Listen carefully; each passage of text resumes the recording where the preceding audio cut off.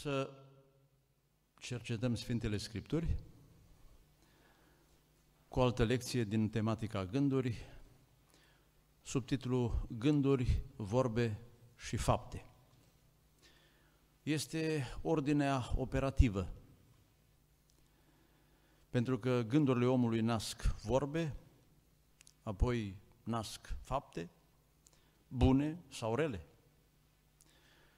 Și întreg acest proces este responsabil de modul de viață. Iar în final, ele decid destinul omului. În Galateni, Apostolul Pavel scria, capitolul 6, versetele 7 la 9, îndemnându-ne să fim atenți de la început în derularea acestui proces. Nu vă înșelați, Dumnezeu nu se lasă să fie batjocorit. Ce seamănă omul aceea va și se cera. Cine seamănă în firea lui pământească va se cera din firea pământească putrezirea. Dar cine seamănă în Duhul va se cera din Duhul viața veșnică.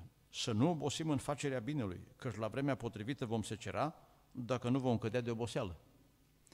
Știți, seria aceea de evenimente progresive, semeni un gând, culegi o vorbă, semeni o vorbă, culegi o faptă, în final un caracter și un destin. În minte se derulează procesul semănării, de aici pleacă toate lucrurile. Întrebarea la care vrem să răspundem în această lecție, sau întrebările, dacă ar fi să punem două, cum se pot promova gândurile bune la nivel de fapte și vorbire și respectiv cum se pot stopa emanațiile minții care sunt negative cu efectele lor faptice. Solomon, în cercetările lui, scria în Cartea Eclesiastul, capitolul 7, a fost interesat uh, de evoluția acestor fenomene. Iată cuvintele lui, Eclesiastul 7 cu 25, M-am apucat și am cercetat toate lucrurile, cu gând să înțeleg, să adâncesc și să caut înțelepciunea și rostul lucrurilor și să pricep nebunia, răutății și rătăcirea prostiei. Adică de unde se pleacă și unde se ajunge. Citim și cuvintele Apostolului Pavel din 2 Corinteni, capitolul 10, cum am spus în lecția anterioară, sunt cuvinte de referință pentru tematica gânduri, pentru că aici vrem să obținem biruința, ca nu cumva vreun gârău să se transforme în cuvinte și în fapte, și din potrivă, un gând bun să se materializeze cât mai degrabă și cât mai amplu. Măcar că trăim în firea pământească, totuși nu ne luptăm călăuziți de firea pământească. Căci armele care ne luptăm noi nu sunt supuse firii pământești, ci sunt puternice, întărite de Dumnezeu ca să surpe întăriturile. Noi răsturnăm izvodirile mințite și topăm tot ceea ce este rău și orice înălțime care se ridică împotriva cunoștinței lui Dumnezeu și promovăm tot ceea ce este bine, ba chiar să transformăm ceea ce este rău în ceva bun. Și orice gând îl facem rob ascultării de Hristos. Doamne, ajută-ne! Să nu fie lecția aceasta doar o trecere în revistă a câtorva idei, și dacă se poate, să fie o cercetare a ființei noastre și o îmbunătățire a modului nostru de gândire și de trăire. În prima parte să ne oprim să observăm în patru idei procesul materializării gândurilor. Adică în ce fel un gând se transformă în ceva faptic, real, vizibil. Orice gând are tendința de materializare în fapte. După cum orice ou clocit devine pui și ecluzează. Niciun gând nu-i mulțumit să rămână de apururi în mintea noastră. Vrea să iasă afară. Să se materializeze. În Proverbe 31 cu 16 scrie despre o femeie care e bună gospodină, bud administrator, se gândește la un ogor și îl cumpără. La ce ar fi de folos să gândească la un ogor, ce ar semăna aia în el, fără să-l cumpere, nu? Dar gândindu-se, ajunge să-l cumpere. Din uh, rodul muncii ei sădește o vie. Adică are proiecte care mai întâi se derulează în minte. Asta fie în bine, fie în rău. Pe noi ne-ar interesa în prim plan cum să gândim bine și să le materializăm. Citim și din Nemia, capitolul 7, despre acest bărbat care a avut gânduri bune față de Ierusalim. Dumnezeu mi-a pus în inimă gândul să adun pe cei mai mari și pe dregători și poporul ca să-i număr. Am găsit o carte cu spițele de neam ale celor ce se suiseră întâi din robie și am văzut scris în ea cele ce urmează. Deci gândul lui, cu efort, a ajuns să fie materializat în a pune lucrurile la punct cu atât mai bine în Ierusalim. În ideea aceasta există o întrebare concretă în fapte 22 cu 26, întrebare care poate rămâne în mintea noastră ca și o probă în a ne cerceta dacă suntem pe un drum bun sau pe unul rău. Fapte 22 cu 26. O întrebare adresată de un sutaș capitanului. Ce ai de gând să faci? Adică ceea ce avem în gând vom face.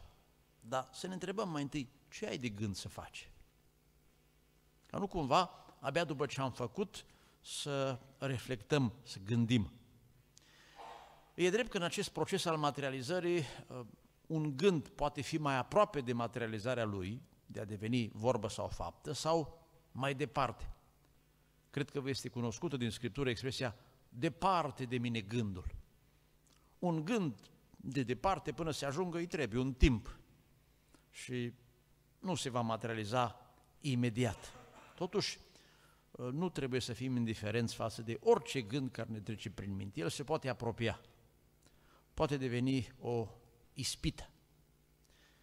Dar dacă gândul este aproape, materializarea poate fi imediată. Citim, ca exemplu, din cartea 2 Cronici, capitolul 32, despre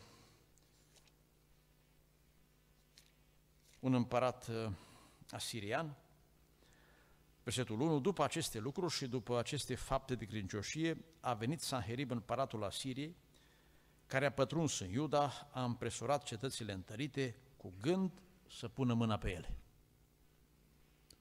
Probabil că atunci când a avut un consiliu de coroană și a făcut un plan încotro se va îndrepta armata lui. Dar acum gândul era aproape să fie materializat, nu îi lipsea decât biruința în acel asediu. Să luăm un alt exemplu din Noul Testament, Ioan capitolul 13, cazul lui Iuda, vă este cunoscut. Cândva gândul vânzării Domnului a fost departe de el. S-a apropiat și scrie în 13 cu 2, în timpul cinei după ce diavolul pusese în inima lui Iuda Iscarioteanu, fiul lui Simon, gândul să-l vândă. Era vorba deja de o faptă iminentă. Ceea ce s-a și întâmplat, conform celor scrise în versetele 27 și 28, cum a fost dată bucățica, a intrat satana Iuda. Iisus i-a zis, ce ai să faci? Observați acum, nu se mai pune problema ce ai de gând. Deja gândul urma să se transforme în faptă, diavolul preluându-l. Dar nimeni din cei ce ședeau la masă n-a înțeles pentru ce îi zisese aceste vorbe. Însă Domnul care îl cunoștea, i-a și spus, de acum nu te mai poți împotrivi, gândul este prea puternic pentru tine. Am citit într-o carte despre un om care s-a jucat cu păcatul imoralității și într-o fază, a ceea ce însemna două minute înaintea păcătuirii, a mărturisit că i-a mai venit un gând, fac, nu fac, dar a zis, deja gândul pierduse puterea de a se mai împotrivi. Este, așa cum v-am spus, în cazul unui ou sau oricărui alt fenomen de genul acesta, gândul când ajunge să se nască, cum spune și în Iacov, când dă naștere păcatului, în faza asta nu prea se mai pot face multe lucruri. De aceea să nu ne jucăm cu gândurile, pentru că ele mai degrabă sau mai târziu se materializează. Într-o a doua idee vreau să reținem ca și o continuitate a acestei prime idei, că orice acțiune de materializare a gândurilor are tendința multiplicării și amplificării. Când uh, îl ispetește diavolul cu un gând pe un om, îi spune să facă numai puțin și numai o dată. Dar nu se poate rămâne la atât. De regulă, un păcat înfăptuit se repetă foarte ușor. Un gând necontrolat se materializează și altă dată. Ba mai mult, stările se vor amplifica. Cunosc o situație în care un bărbat a fost uh, ispitit să vizualizeze pornografie. A făcut-o într-un mod din ce în ce mai, mai grav, mai, tot mai departe s-a dus și, ca să nu lungim vorba că nu e un subiect plăcut, până la urmă a ajuns să intre într-un bordel. A fost un drum. A durat, nu știu, un an, doi, dar pentru că n-a reușit să controleze gândul, s-a dus tot mai departe. Și nu s-a oprit la a privi și s-a dus înspre rău, amplificând păcatul. De aceea să fim atenți. Iată ce vă citesc ca exemplu din cartea Ezechiel, capitolul 19, versetele 5 la 7, este o alegorie referitoare la regii lui Iuda. Leoaica a văzut că degeaba l-aștepta pe un alt pui al ei, a luat un alt pui și l-a făcut leuț. El a umblat cu lei, s-a făcut leuț, a învățat să sfâșie prada și a mâncat oameni. Și nu s-a mulțumit cu atât. A năvălit în palatele lor, le-a nimicit cetățile, așa că țara cu tot ce se afla în ea s-a îngrozit de mujitul răgnerilor lui. Din leu a devenit leuț. Din leuț a devenit leu și un leu care nu mai putea fi controlat. Citim și în Efeseni, capitolul 4, unde este descris uh, la modul general această stare de progres, de multiplicare a răului, că poate progres nu-i putem spune în sens uh, pozitiv a ceea ce ar trebui să fie un progres. Efeseni 4, citim de la 17. Iată dar ce vă spun și mărturisesc eu în Domnul, să nu mai trăiesc cum trăiesc păgâni în deșertăciunea gândurilor lor, adică își dau drumul la gânduri având mintea întunecată, fiind străin de viața lui Dumnezeu, din pricina neștiinței în care se află în urma împetririi inimilor. Și acum observați procesul amplificării. Ei s-au, de, și-au pierdut orice pic de simțire, s-au de dat la desfrânare și săvârșesc cu lăcomie orice fel de necurăție. Dacă am amintit adineaori proces, uh, fenomenul pornografiei, nu s-a ajuns dintr-o dată aici. Filmele au devenit din ce în ce mai scârboase, imaginile, site-urile de profil au devenit din ce în ce mai multe și mai sadice, mai demonice, pentru că așa se întâmplă când oamenii nu pot să biruie ispita în gând. Diavolul, unde este permis, acționează fără limite. Să ne ajute Domnul să putem controla aceste situații și să nu pierdem de sub control ceea ce se poate stăpâni. Pentru că se creează fenomenul de obișnuință. Citim și versetul din Ieremia 13 care descrie această stare. 13 cu 23. Poate un etiopian să schimbe pielea? Un negru să devină alb peste noapte? Sau un pardu să schimbe petele? Tot așa. Ați putea voi să faceți binele, voi care sunteți deprinși să faceți răul. Trec la o a treia idee. Gândurile nasc vorbe și fapte și la rândul lor vorbele și faptele nasc gânduri. Este un circuit închis, un lanț al slăbiciunilor. De aceea este foarte important să ieșim din cercuri vicioase, din medii păcătoase, să intervenim cu toată forța în a stopa procesul păcatului și în a ne dărui unui circuit al binului, unor stări care promovează faptele bune, care, așa cum spune Scriptura, au fost rânduite de Dumnezeu ca să umblăm în ele. În Cartea a doua a Regilor, capitolul 12, versetul 17, uh, citim despre împăratul Siriei, care,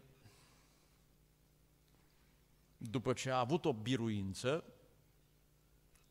adică a realizat o faptă rea, evident, dar pe care și-o propusese, această faptă a generat gânduri.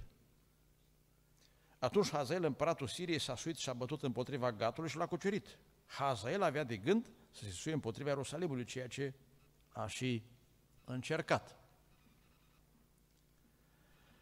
Pentru că tot ceea ce vedem, tot ceea ce vorbim, tot ceea ce facem, se lasă cu amprente în mintea noastră. Și orice sămânță ajunsă la maturitate are la rândul ei sămânță. Un gând se transformă în această imagine în sămânța unei plante care rodește, crește și orice plantă are la rândul ei sămânță. Și din nou se rea circuitul de la capăt. Alte gânduri, alte vorbe, alte fapte. Citim și în Osea, capitolul 4, versetul 11, unde sunt uh, incriminate unele stări de care trebuie să ținem cont, pentru că au efect asupra gândurilor, asupra minții. Curvia, vinul și mustul iau mințile omului. Poate cel mai bland de mână exemplu. Beția are efect asupra gândurilor? Bineînțeles. Curvia de asemenea. Tot în ideea aceasta citim poate ceva mai aproape de noi, ca să veghem 1 Ioan capitolul 2, 2 Ioan, scuzați, capitolul 1 versetul 10, dacă vine cineva la voi și nu va aduce învățătura aceasta, adică învățătura adevărului, să nu primiți în casă, să nu ziceți bun venit. Că și ne zice bun venit, se face partaș faptelor lui rele. Deci este un circuit între gânduri, vorbe și fapte pe dublu sens, sau cum am numit-o, într-un cerc. Se provoacă toate împreună. De aceea să fim atenți la tot ceea ce se petrece în mintea noastră, în jurul nostru și cu accent, atenția, pe faptele care le-am comis, ca la rândul lor să nu se constituie în gânduri pentru alte fapte, care, așa cum aminteam în ideea anterioară, se pot amplifica. Și o ultimă idee aici, legată de altfel de celelalte, gândurile colective sunt mai puternice, creează fenomene de masă și sunt ulterior greu de evitat. De exemplu, formarea unei limbi. Pentru că toți vorbesc așa, să luăm într-o anumită regiune. De exemplu, românii noștri de dincolo de Prut. Așa e că numai să deschide gura și știm că sunt din Basarabia, nu? Și nu e ușor să-și propună să vorbească așa ca un bănățean sau, știu eu, un oltean ca un ardelean. Pentru că odată ce s-a obișnuit mintea într-un anume fel, este foarte greu să se schimbe. Să ne gândim la obiceiurile populare.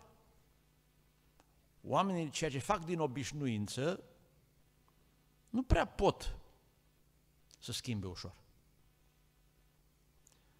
Și dacă un om, în urma unei obișnuințe, nu se poate schimba ușor, dar dacă toți din jurul lui procedează la fel, este cu atât mai greu. Imaginați-vă un om care are o anumită viteză pe drum, este ușor să se întoarcă în drum. Trebuie să reducă întâi viteza. Dar dacă e o coloană și ambele sensuri sunt ocupate, se mai poate întoarce? Foarte greu. Când este vorba de un fenomen de masă, lucrurile sunt uh, de o amploare greu de controlat. De aceea, în Cartea Proverbele avem frecvent sfaturi de a fi atenți cu cine ne împretenim. Nu atâția tineri se pierd tocmai pe fondul prietenilor? Dar de ce nu și familiști? Bărbați sau femei, mediu este un factor determinant pentru gânduri și fapte, un factor greu de îndepărtat. Să citim câteva sfaturi din Cartea Proverbele. 13 cu 20 mai întâi. Cine umblă cu înțelepți se face înțelept. Asta înseamnă că mintea ți este favorizată. Dar cui place să se soțească cu nebunii, o duce rău. Pentru că știți, nebunii nu pot să tacă și de la gândurile lor lipsite înțelepciune ajung la vorbe și la fapte. Și tot în proverbe scrie că mai bine ai întâlni o ursoaică supărată decât un nebun atunci când își materializează gândurile. Alt sfat din proverbe, 22 cu 24. Nu te împrieteni cu omul mânios și nu te însoți cu omul iute la mânie, ca nu cumva să deprins cu cărările lui și să ajungă o cursă pentru suflet. Nervii de unde pleacă? Din pum sau din minte? Și cine se însoțește cu astfel de oameni, va deveni și el irascibil, gata, nu doar de ceartă, gata de bătaie, poate. Tot Proverbe 24 cu 21, Fiule, temete de Domnul și de împăratul și să nu te amesteci cu cei neastâmpărați, cu oameni care greu își controlează acest proces, gânduri, vorbe, fapte. Să ne ferim și vom fi protejați. Cum spunea și Pavel, tovărășile rele strică obiceiurile bune. Și când toți sunt porniți să facă un lucru, starea de fapt se înrăutățește dacă e vorba de ceva rău, încât nu mai poate fi controlată. La fel se întâmplă însă și în sens pozitiv. Știți că atunci când a ajuns Saul între proroci, a prorocit și el. Dacă era singur, n-ar fi prorocit niciodată. Când a fost răscoala argentarului Dimitrie, este scris în fapte 19 cu 29 că toată cetatea s-a tulburat. Probabil erau oameni care nu-și programaseră să iasă în piață în ziua aceea. Dar fiind un fenomen de masă, au năvălit cu toți într-un gând în teatru. Și-au luat cu ei pe macedonienii Gaiu și Aristar, tovarășii de călătoria lui Pavel. Și spune Scriptura în continuare că au strigat două ore. Și când ne-a întrebat uh, ce doriți, spune Scriptura aici la un moment dat, versetul 32, și cei mai mulți nici nu știau pentru ce se adunaseră. Dar s-au adunat. Pentru că fiind un fenomen de masă, s-a trecut repede de la gând la fapte, fără prea multă gândire. De altfel se spune că e mai ușor să hipnotizezi o sală de 100 de oameni decât pe un singur om. Se duc ca oile, ca turma, cum se spune. Așadar, să fim atenți la ceea ce se petrece în mintea noastră, căci gândurile nasc și de regulă nu nasc numai un pui. Nasc mai mulți și toți cresc. Să fim atenți că puii la rândul lor vor avea și ei perioade de gestație la maturitate și vor naște alte gânduri. Iar dacă e vorba, cum spuneam, de un fenomen de masă, atunci lucrurile se complică și mai mult. Așadar, am putea spune că distanța de la gând la faptă nu e chiar atât de lungă pentru că gândurile circulă cu viteze mari. Acum, într-o a doua parte a părtășiei noastre, să ne oprim la câteva principii de evaluare a materializării gândurilor. Să vedem cât ne costă dacă dăm dreptul unui gând să rodească, ce putem face ca să rodească numai gânduri bune. Imaginați-vă că cineva ar avea o pepinieră și ar fi întrebat ce cultivi și să-i spună buruieni. Ce vrei să vinzi pe piață? Spini. Își spune, da, pentru asta nu trebuie să faci pepinieră. Te duci pe câmp, lucrat și asta produce pământul de la sine. Cine își face o pepinieră și vrea să o întrețină, va vinde lucruri roditoare în bine. Cu atât mai mult trebuie să ne ocupăm noi de mintea noastră, care este o pepinieră a sufletului, a veșniciei noastre. În primul rând, să reținem că faptele gândirii, la urmă și un gând este o faptă, dar diferit de ceea ce spunem noi, faptă în mod obișnuit, propriu-zis. Faptele gândirii pot sau nu să se materializeze în fapte propriu-zise, în funcție de mai mulți factori. Responsabil de producerea lor. De exemplu, Dumnezeu poate să îngăduie să se întâmple ceva sau poate să împiedice.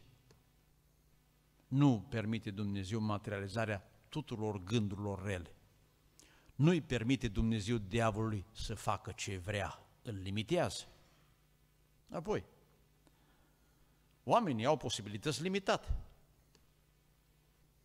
Poate cineva ar vrea să facă o minune. Are în gând să facă o minune. Dar dacă nu are puterea spirituală să o facă, poate cineva vrea să realizeze lucruri mari, să-și facă un palat, să muncească. Nici măcar într-o zi se poate ca omul să nu-și realizeze planul pentru cât și-a propus să muncească. Pentru că avem limitele noastre spirituale, limite fizice. Avem limite de timp. Îmbătrânim și nu mai putem face planuri. Vorba văduvei Naomi. Nu mai pot să o iau de la capăt. Că din nou să am băieți așa ad hoc și să se căsătorească cu uh, nororurile rămase potrivit legii leviratului. Să citim câteva versete care evidențiază limitele materializării gândurilor. Genesa, capitolul 50, versetul 20. Iosif se adresează fraților săi, amintindu-le, nu ca imputare, ci doar în a scoate în evidență intervenția divină. Voi negreșit v-ați gândit să-mi faceți rău. Dar Dumnezeu a schimbat răul în bine ca să împlinească ceea ce se vede așa, anume să scape viața unui popor în mare număr. N-a putut nici frații lui, nici egiptenii să facă tot ce și-ar fi propus cu privire la Iosif. Amintiți-vă de ispitirea prin soția lui Potifar. Dumnezeu l-a ajutat, Dumnezeu a intervenit cu visul. N-ar fi putut să-l țină de apurori în închisoare. Altă referință, Ieremia, capitolul 44, versetul 14.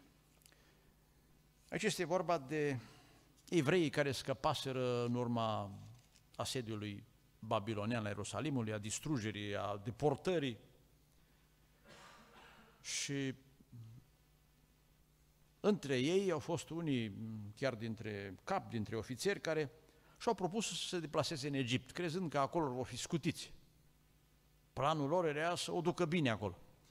Dar le spune profetul, nu va rămânea și nu va scăpa niciunul din rămășițele lui Iuda care au vrut să locuiască pentru o vreme în țara Egiptului, cu gând să se întoarcă iarăși în țara lui Iuda, unde doresc să se întoarcă iarăși să se așeze. Nu se vor mai întoarce decât vreo câțiva care vor scăpa. Căci așa cum spune Iacov 4, oamenii fac planuri, mă voi duce, voi face. Nu se știe dacă Dumnezeu îți permite aceasta.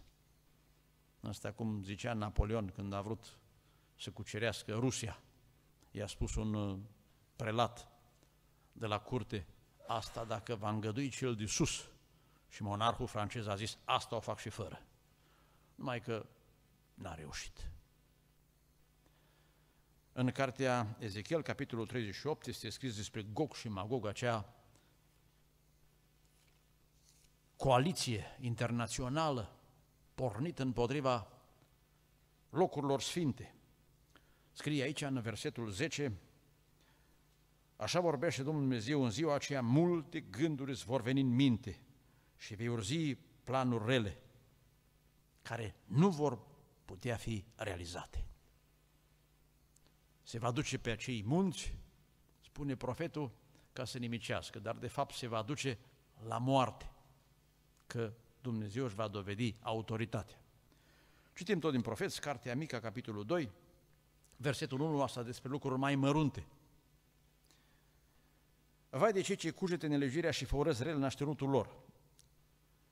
Când se crapă de zi, o înfăptuiesc. Dacă le stă în putere. Dacă poftesc goare, pun mâna pe ele, dacă doresc casele, răpesc, asupresc pe om și casa lui, pe om și moștenirea lui. Dar toate stau sub această incidență din finalul versetului 1. Dacă le stă în putere. Ce a spus bogatul căruia rodi țarină? Sunt asigurat pentru mai mulți ani. Numai că n-a fost așa. Pentru că Dumnezeu, cum știți, i-a luat viața. Ce avea de gând Irod, scrie în fapte 12, să facă cu privire la Petru? Să-i rostească sentința în ziua aceea. Numai că Dumnezeu are îngeri de servici noaptea, care au făcut ca planurile lui să nu poată fi realizate.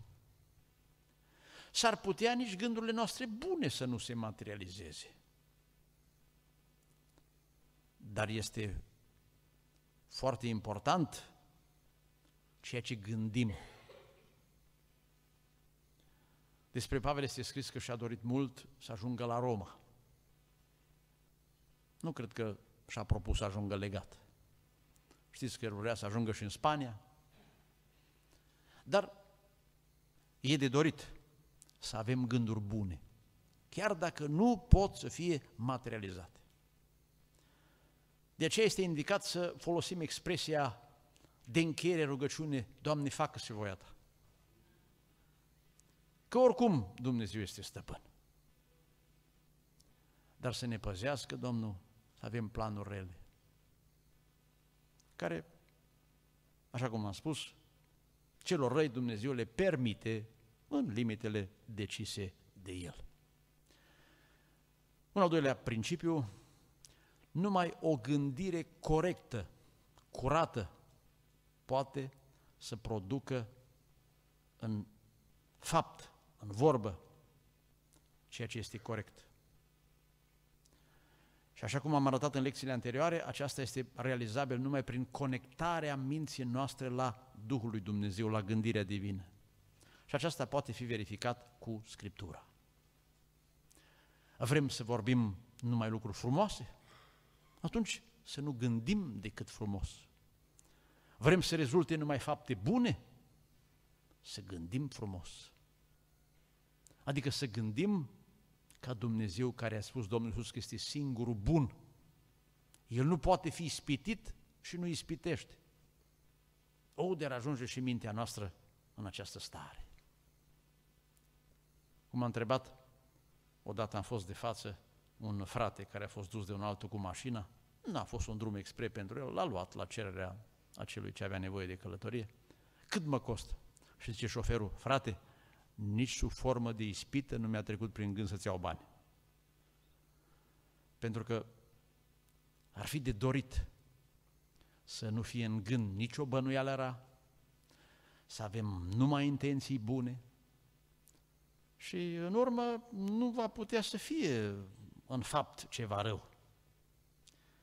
Căci amintiți-vă de cuvintele Domnului Iisus, Matei, capitolul 13. Citim de la versetul 30, 12, de la 33. Ori faceți pomul bun și rodul lui bun, ori faceți pomul rău și rodul lui rău, căci pomul se cunoaște după rodul lui. Rodul este vorba sau fapta, dar dacă nu-i pomul bun, de unde rod? Dacă nu-i mintea bună, de unde vorbe bune? Pui de năpârși, cum ați putea voi să spuneți lucruri bune când voi sunteți răi?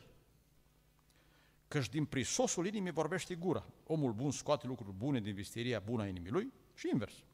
Omul rău scoate lucruri rele din visteria rea a inimii lui. Cândva m-am gândit dacă nu cumva este prea drastic Dumnezeu pedepsindu-ne pentru un cuvânt. Dar când am înțeles contextul exprimării Domnului Isus, rezultă că omul e pedepsit pentru o vorbă, dar vorba aceea nu-i rătăcită pe limba lui. Omul vorbește din prisos, adică atunci când eu spun o vorbă, acolo înăuntru meu am un pachet.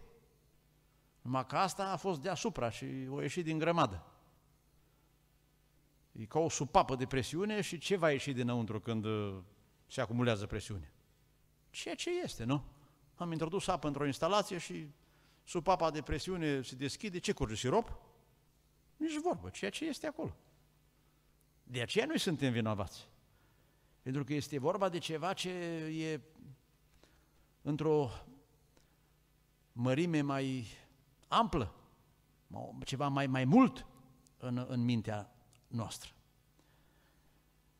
Alte texte potrivite pentru ideea aceasta găsim și în cartea Proverbele, capitolul 24. Aici este dat un caz, să-l numim ipotetic, că oricum nu cunoaștem gospodarul cu pricina, 24 cu 30, am trecut pe lângă ogorul unui om leneș și pe lângă via unui om fără minte. Rețineți, fără minte. Era numai spini, acoperit cu mărăcini, zidul de piatră era prăbușit. M-am uitat bine școlarea minte și am tras învățătură din ce am văzut. Să mai dorm puțin, să mă asipesc puțin, să mai încrucișez puțin mâinile ca să mă odihnesc și sărăcia vine peste tine pe neașteptate ca un host și lipsa ca un om în armată. Ce a fost responsabil pentru gospodăria asta în paragină? Mintea leneșului. Totul a pornit din gândirea lui. De fapt, nu gândea. Proprietarul era fără minte. Și dacă nu sunt gânduri potrivite, de unde rezultate? Comparați leneșul ăsta de aici cu femeia aceea din Proverbe 31, care se gândește și cumpără un ogor. Ăsta nu-l muncește nici pe a lui.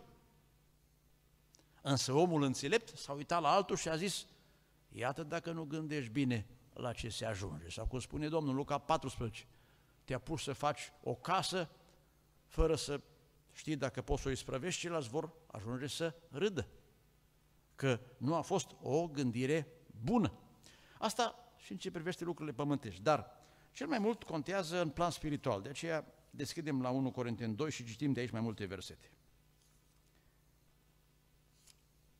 Vă spuneam că soluția pentru vorbe și fapte bune este conectarea la voia lui Dumnezeu, ceea ce se poate verifica prin Scripturi. Citind versetele de aici putem să răspundem la următoarea întrebare. De ce unii oameni gândesc corect în plan spiritual și alții sunt rătăciți? Unde este cheia, secretul înțelegerii lucrurilor? 1 Corinteni, capitolul 2, citim de la versetul 1. Cât despre mine, fraților, când am venit la voi, n-am vrut să vă vestesc taina lui Dumnezeu cu vorbire sau înțelepciune strălucită. Căci n-am avut de gând să știu între voi altceva decât pe Iisus Hristos și pe voi răstignit. Versetul 4. Și învățătura și propovăduirea mea nu stătea în vorbirile înduplecătoare ale înțelepciunii, ci într-o dovadă dată de Duhul și de putere, pentru ca credința voastră să fie întemeiată nu pe înțelepciune omenească, ci pe puterea lui Dumnezeu. Să nu uităm că Uh, cei care se adresa această scrisoare făceau parte din Grecia, centru filozofiei antice. Ei credeau că sunt deștepți și pot să interpreteze toate fenomenele. Ei au explicații la toate. Și Pavel le spune că înțelepciunea lor nu i-a ajutat să discearne lucrurile, cele mai profunde, cele mai de valoare. Citim versetul 7. Noi propovăduim înțelepciunea lui Dumnezeu, cea tainică știnută ascunsă, pe care o rânduise Dumnezeu spre slava noastră mai înainte de veci și pe care n-a cunoscut-o niciunul din fruntașii veacului acestuia. Căci dacă ar fi cunoscut-o, n-ar fi răstignit pe Domnul Slavei. De ce au gând, procedat greșit Caiafa, Pilat și toți ceilalți? De ce l-au batjocorit atenienii pe Pavel și au spus asupra acest lucru, te vom asculta altă dată? pentru că n-aveau o gândire racordată la gândirea lui Dumnezeu. Și scrie Romanul, s-au fălit că sunt înțelepți și au înnebunit. Adică în lumea asta se petrece foarte frecvent acest fenomen. Oameni care cred că ei știu ce au de făcut. Nu este așa și procedează greșit. Uitați-vă numai la evoluția evenimentelor în plan social în ultima vreme, cu promovarea homosexualității acești legiuitori sau alți premergători ai lor care generează aceste paradigme, ei cred că au o gândire care favorizează omul. Când colo este totalmente împotriva omului, drept dovadă, drogații care sunt. Și starea confuză în care se află tineretul. Pentru că în a emite cuvinte înțelepte și a realiza fapte bune, repet, trebuie să fii corelat cu gândirea divină. De aceea scrie mai departe aici, citesc de la versetul 10, Nou însă Dumnezeu ni l-a descoperit prin Duhul Său, căci Duhul cercetează totul, chiar și lucrurile adânci ale lui Dumnezeu. Versetul 12. Și noi n-am primit Duhul lumii, ci Duhul care vine de la Dumnezeu ca să putem cunoaște lucrurile pe care ni le-a dat Dumnezeu prin Harul Său și vorbim despre ele. Cu vorbiri învățate de la, nu cu înțelepciuni învățate de la înțelepciunea omenească, ci cu vorbiri învățate de la Duhul Sfânt, întrebuințând o vorbire duhovnicească pentru lucrurile duhovnicești. Dar omul firesc nu primește lucrurile Duhului Dumnezeu. Și dacă nu le primește în gând, de unde să se materializeze în vorbe și în fapte? Căci pentru el sunt o nebunie și nici nu le poate înțelegere. Înțelegerea este la nivelul minții, evident. Pentru că trebuie judecate duhovnicește. Omul duhovnicesc, din potrivă, poate să judece totul și el însuși nu poate fi judecat de nimeni. Căci cine a cunoscut gândul Domnului? Aici este întrebarea de fond. Cine a cunoscut gândul Domnului? Cine ajunge să-L cunoască, va acționa corect în viață. Și se încheie capitolul acesta cu un gând, cu vorbind despre gând, cu o expresie care aș dori să fie valabilă și pentru noi, că aici este pluralul. Noi însă avem gândul lui Hristos. Și când ajungi să gândești ca Domnul Isus, vei vorbi ca Domnul Isus, te vei comporta ca Domnul Isus. Doamne, lucrează la mintea noastră. Dacă nu-i mintea sănătoasă, scria și Petru în a doua, capitolul 3, versetul 1, nu sunt șanse să ai cu cine povesti. El se adresa unor oameni cu minte sănătoasă. Și tot acolo face referire la niște oameni care nu gândesc. De aici pleacă procesul, dar de fapt aici procesul generează prin prezența Duhului lui Dumnezeu, prin cercetarea Scripturii. Așa ajungem să vorbim frumos și să trăim spre slava lui Dumnezeu. Un al treilea principiu. Procesul materializării gândurilor este operabil în orice fază de manifestare. Astfel, mai poate fi stopat, deviat sau poate fi amplificat. Adică se mai poate interveni pentru îndreptarea lucrurilor. Să luăm câteva exemple. În număr 22 este scris, cunoașteți cazul, că trimișul lui Balac au ajuns la Balam, i-au cerut să meargă să blesteme pe Israel, el întreabă pe Domnul, primește răspunsul să nu se ducă, ascultă, revin trimișii din nou, îl provoacă și el întreabă pe Domnul și Domnul îi spune să plece cu o condiție. Domnul iese înainte, văzând, așa cum i-a spus îngerul, că drumul duce la pierzare. Dar totuși nu-l oprește. Și îi spune, citesc doar versetul acesta, sunt cuvintele îngerului, evident din partea Domnului, 22 cu 32, Drumul pe care merge este un drum care duce la pierzare înaintea mea. Balam a zis, dacă nu găsești că e bine ce fac, mă voi întoarce, că eu deja am început să fac. Du-te cu oamenii aceștia, dar să spui numai cuvintele pe care ți le voi spune eu. A reușit? N-a reușit. Se pare că acolo a fost limita de la care se mai putea întoarce. Așa cum aminteam mai înainte, sunt faze ca pe tobogan când uh, nu mai te poți opri. După ce ai prins viteză cu mașina și ai deraiat din drumul tău, e greu să mai poată face ceva. Dar sunt totuși situații în care omul se poate opri. Să luăm un alt uh, caz, unde s-a și întâmplat, cel puțin moment ceva bun, 1 Samuel 19. Știți că Saul a fost apucat de un duh rău și voia să omoare pe David. de care se temea că îi ia tronul. Fiul său Ionatan intervine pentru el, citesc versetul 4. Să nu facă împăratul, a zis el, un păcat față de robul tău David, căci el n-a făcut niciun păcat față de tine, din potriva a lucrat pentru binele tău. Aduce argumente și scrie în versetul 6, Saul a ascultat glasul lui Ionatan și a jurat zicând, viu este Domnul că David nu va muri. A revenit înaintea lui și pentru o vreme a fost o stare de acalmie. Deci iată că există momente pe procesul derulării fenomenelor de la gând la faptă să se intervină. În aceeași carte, în capitolul 25, avem o intervenție salutară a Abigailei, care l-a oprit pe David. Își pusese de gând, s-a trecut la vorbă, când a zis, până dimineață termin cu toți bărbații din casa asta. Și totuși, procesul a fost stopat în faza aceasta.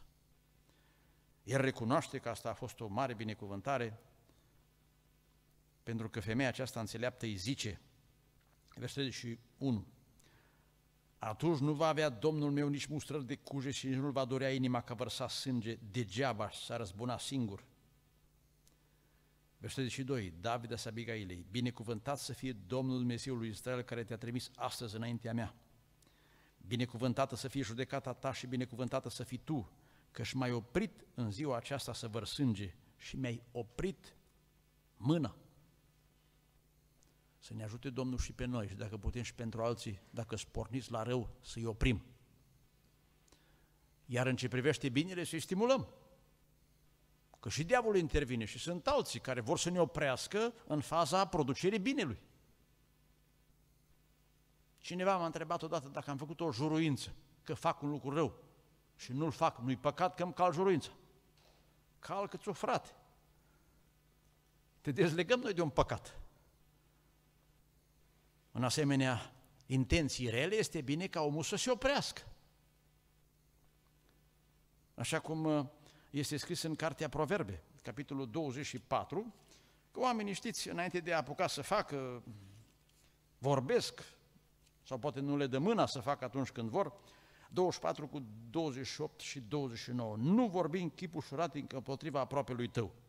Ori vrea să înșel cu buzele tale. Nu zice, cum mi-a făcut, așa am să-i fac și eu. Îi vor răsplăti după faptele lui. Și am văzut pe unii, știți prea bine, care zic că fac, până la nu fac. Vorba aceea, câinile care latră nu mușcă. Dar n-ar fi indicat nici să latre. Nici măcar să nu zică, mă voi răzbuna. Că poate trece supărarea, de aceea este bine să amânăm supărarea de seara pe dimineața și de dimineața pe după masa, dar nu până să o prindă Sfântitul Soarelui ca să putem stopa acest proces. Să ne amintim de Iosif, logodnicul Mariei. A văzut că lucrurile nu sunt bune după înțelegerea minții lui, o înțelegere naturală. Și spune Scriptura în Matei 1 cu 19 și 20 că și-a pus de gând să o lase pe ascuns. Și Domnul a intervenit ca să nu-și materializeze gândul și să o ia. Deci iată că stopările pot să fie și în bine și în rău. Știți ce i-a spus Petru la Simon Magu, fapte 8 cu 22? Zis, pocăiește-te, tu ai niște intenții rele. Și știți că dacă noi ne oprim din păcat, se poate opri și Dumnezeu din pedeapsă. Dar dacă doar intenționăm să facem binele, e bine până la un moment dat că am gândit bine. Dar dacă nu apucăm să-l împlinim, nu ne poate plăti Dumnezeu ca și pentru ceva și deja am făcut. Se întâmplă uneori când uh, mergem într-o parte sau alta și poate cineva s-a pregătit să ne dea o masă și poate frații nu mănâncă sau se grăbesc. Și au fost situații când am spus unor surori, da frate, eu am pregătit, zic, fi liniștită, că și Avram l-a pus pe Isaac pe altar și l-a luat înapoi. Și a fost considerat că l-a dăruit. Pentru că Dumnezeu cercetează fondul atitudinii noastre, care a fost uh, dorința noastră. Și un ultim aspect legat de aceste principii, un uh, principiu de cauză-efect, rezultatul extern al minții, cuvinte și fapte, are efecte pozitive sau negative asupra întregii ființe umane, duc, suflet și trup. Ceea ce gândim, ceea ce facem noi, fie chiar în fază primară și cu atât mai mult în procesul materializării, va avea efecte asupra spiritualității și a sănătății. Știați că un gând rău păstrat timp de o oră în minte îți afectează imunitatea pe întreaga ziua? Asta numai asupra sănătății. Supărarea aduce boli. Nu te supăra, că supărarea duce numai la rău. Ce să mai spunem de aspectele spirituale?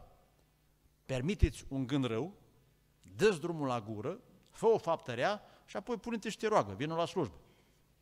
Te afectează, nu? Nu mai poți să slujești, nu mai poți să vii înaintea Domnului, să iei cina Domnului. Toate acestea se lasă cu efect, chiar și aici în viață. De aceea vă spuneam că este un cer vicios, un gând. Se materializează, materializându-se prin rod, naște alte gânduri și toate astea ne amprentează.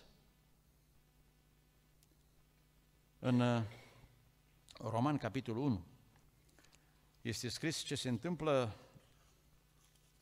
în plan spiritual și fizic atunci când gândirea este afectată. 1 cu 21, fiindcă măcar că au cunoscut pe Dumnezeu, adică ar fi știut cum să procedeze corect, nu l-au proslăvit ca Dumnezeu, nici nu i-au mulțumit, ci s-au dedat la gândiri de șarte, a dat drumul gândirii sub ispitirea diavolului. Și inima lor, fără pricepere, s-a întunecat.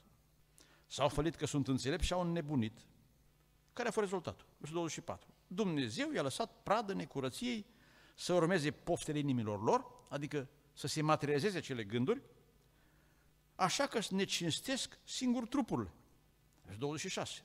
Dumnezeu i-a lăsat în voia unor patim scârboase, dar tot aici scrie, în finalul versetului 27, au primit în ei înșiși plata cuvenită pentru rătăcirea lor. Cei ce gândesc în mod pervers acceptă toată nebunia imorală din vremea noastră, dar și Dumnezeu i-a cadorisit cu zeci și zeci de boli și numai din acelea cronice. Pentru că nu se poate ca cineva să facă ceva și să nu fie răsplătit. De aceea să fim atenți că ceea ce gândim se transformă ca și în procesul sămânță-rod și s-ar putea să nu fie bune roadele. Spune Scriptura în cartea Plângii Remia, capitolul 1, versetul 9, necurăția stă lipită de haina, poala hainei lui, vorba de Ierusalim, nu se gândea la sfârșitul său. A căzut greu de tot, nimeni nu-l mângâie. Și acum se vaite, vezi-mi ticăloșia, Doamne, că iată ce semeț este vrășmașul. Spune Scriptura, tot uh, aici, versetul 7, în zilele necazului și ticăloșiei lui, Ierusalimul își aduce aminte toate bunătățile de care a avut parte în zilele străbune, când a căzut poporul lui în mâna supritorului și nimeni nu i-a venit în ajutor. Iar vrăjmașii se uitau la el și râdeau de prăbușirea lui. Dar ce folos? Acum amintea făcea tardiv socotelele. Dacă n-aș fi procedat așa. Iată unde am ajuns. Câți din cei care au mers cu viteză și au avut accidente, sau câți din cei care au păcătuit și în urmă s-au ales cu pedepse sau cu pagube materiale. S-au gândit dinainte că o gândire rea îi afectează. Câți din cei care dau drumul la gură și produc ceartă și e greu apoi să refaci o relație, își dau seama că toate astea se lasă cu, cu pagube spirituale și fizice. Să ne ajute Domnul să fim atenți și gândindu-ne la efectele ce urmează. Recapitulez aceste principii. Gândurile se pot materializa în limite îngăduite de Dumnezeu și condițiile general umane lăsate de El. Numai o gândire racordată la Scripturi poate să producă, să aibă un rod bun, cuvinte și fapte. 3. Procesul materializării, asta zic că este un har, este operabil în orice fază a lui, adică ne putem opri, putem schimba ceva, ne putem pocăi, reorienta. Și în al patrulea rând să nu uităm că tot ceea ce facem are efect chiar în viața aceasta, asupra spiritului și asupra trupului. Să încheiem afirmând încă o dată că gândurile omului sunt responsabile de întreg comportamentul unui om. Privire, atitudine, acțiuni, caracter, de tot ceea ce face. Gândurile sunt responsabile de tot ceea ce urmează. După cum citim în Proverbe 4 cu 23, unde suntem sfătuiți să facem ordine în minte și să punem pasnic. Păzește-ți inima, asta înseamnă mintea, mai mult decât orice, căci din ea ies izvoarele vieții. Și ca orice izvor, cu vremea are influențe și se scurge, ajunge mare și lucrurile se repetă. Ochii tăi Hai și 24. Izgonește-ne adevărul din gura ta. Adică să nu dai voie să se materializeze. Depărtează viclenia de pe buzele tale. Ochii tăi să privească drept și ploapele tale să caute drept înaintea ta. Cărarea pe care mergi să fie netedă și toate căile tale să fie hotărâte. Nu te abate nici la dreapta, nici la stânga și ferește de rău. Toate acestea sunt posibile dacă veghem asupra minții. Și iar din proverbe vă citesc, aș vrea să-l ține minte, să rămână ca un verset de aur al studiului nostru, 14 cu 22, în adevăr, cei ce gândesc răul se rătăcesc. Eu înțeleg din expresia în adevăr, este o constatare. Dar cei ce gândesc binele, lucrează cu bunătate și credincioșie. Gândești bine, făptuiești bine. Și, în ultima instanță, ceea ce de fapt este chiar ultima instanță, Dumnezeu răsplătește sau pedepsește gândurile în orice fază de materializare ar fi ele. Bineînțeles că Dumnezeu ține cont de capacitatea noastră, dacă este un copil, dacă este un om matur, dacă cunoaște mai puțin sau mai mult, întreg contextul vieții, îl are Dumnezeu în vedere. Dacă a furat cineva de foame sau dacă a furat de lăcomie, la Dumnezeu toate sunt cuantificate. Dar răsplătește în bine sau în rău orice gând și orice fapt. Cum scrie în Isaia 66 cu versetul 18. Să ținem cont de felul în care Dumnezeu ne tratează, pentru ca nu cumva în urmă să spunem că n-am știut. Necunoașterea legii nu este o scuză în instanță. În Ieremia, capitolul 17, versetul 10, Dumnezeu a vorbit prin profet și a zis, Eu, Domnul, cercetez inima, să înseamnă gândurile, ca să răsplătesc fiecăruia după purtarea lui, după rodul faptelor lui. Tot Ieremia 32 cu 19, Se ruga profetul, tu ești mare la sfat și puternic la faptă, tu ai ochii deschise asupra tuturor căilor copiilor oamenilor, ca să dai fiecăruia după căile lui, după rodul faptelor lui. De aceea zice Pavel 1 Corinteni 4 cu 5, nu judecați nimic înainte de vreme, până nu va veni Domnul care va scoate la lumină lucrurile ascunse în întuneric va descoperi gândurile inimilor, atunci fiecare își va căpăta lauda de la Dumnezeu. Eu am văzut personal, Dumnezeu m-a taxat și dacă mi-am permis să gândesc ceva ce nu a fost bun. De exemplu, am fost ispitit, știu eu, uneori, să judec pe un predicator dacă am văzut că face niște greșeli. M-a taxat Dumnezeu uneori la aceea slujbă Așa mi-am tulburat gândurile și ideile, din final pot să spun că am predicat, dar nu știu ce s-a înțeles. M-a taxat pe loc. La București a fost o soră care a judecat în mintea ei pe, o alt, pe un altul care a cântat, spunând că nu-i cântăresc de profesie. nu și-a putut controla gândul, a sărit în picioare, a vorbit, a spus vreau să cânt eu și s-a apucat să cânte. De fapt, în final, n-a făcut decât să tușească. Deși era bună cântăreață, Dumnezeu a taxat-o pe loc. Cum scrie în Proverbe 3, de uneori Dumnezeu ne pedepsește îndată. Sunt situații în care ne pedepsește după ani și ani. Când i-a pedepsit Dumnezeu pe frații lui Iosif pentru că l-au vândut în Egipt? Nu degeaba au trebuit să facă naveta în Egipt, să meargă după el.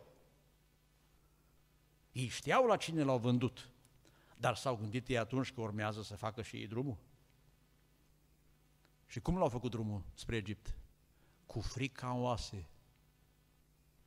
Că și Iosif, când a fost vândut, cu siguranță că nu a fluierat pe drum. Cred că a avut copilul încredere în Dumnezeu, dar oricum, a fost un copil vândut rob. Dumnezeu i-a îngăduit și pe ei să meargă cu teamă, dar dacă nu-i mai lasă să vină înapoi, Simeon era acolo sub arest, pentru că Dumnezeu răsplătește totul. Dar să știți că răsplătește și în bine. Numele Lui să fie binecuvântat. Poate n-a pus să faci o faptă bună. N-ai numai câte un gând bun. Dumnezeu să știți că răsplătește gândul acela. Poate n-a pus să faci o faptă bună, că n-ai bani. Dar măcar o vorbă bună poți să o dai? Spus Domnul Iisus, Matei 25, că în ziua aceea se vor contabiliza, sunt contabilizați, de atunci se vor da pe față toate. Ați venit să mă vedeți. Scrie că eu adus ceva? Poate n-a avut. Nu poți să duci ceva la cineva, du-te măcar să-l vezi, nu? Da, să nu fiți spitit cum scriem psalm după ce ieși să-l vorbești de rău pe afară. Deci moare, nu mai are mult. Nu, tu gândește de bine. Că Dumnezeu toate le socotește, trage linie și îți trimite acasă facturile. Fie în bine, fie în rău. Să ne ajute Domnul să avem o fabrică bună de gânduri. Să fie patentul de la El. Și apoi produsele care vor ieși, și dacă nu sunt produse finite, toate vor fi prețuite pe piața lui Dumnezeu. Numele Lui să fie slăvit. Amin.